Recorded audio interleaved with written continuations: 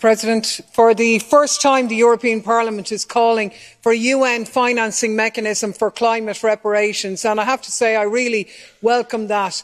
Because the sick truth about the climate crisis, as so many colleagues have pointed out, is that it's the poorest in society, those least responsible, who are always the hardest hit. And therefore, it is only right that those actually responsible for climate destruction are the ones who end up paying up. And that's not about me and you digging deeper into our pockets and being charitable. No, we need to deal with the extreme polluters in society, not your neighbour driving to work or your granny going on an overseas holidays. It's the super wealthy who are taking up an outrageous amount of our carbon space and getting away with it. This is where we need to start. And therefore, I'd encourage support for our amendments 13 and 16 on carbon inequality and curtailing private jet use. The richest 10% are responsible for over half of all carbon emissions. Private private jet use is up to 30% higher than pandemic. This is madness. We need to get rid of our climate guilt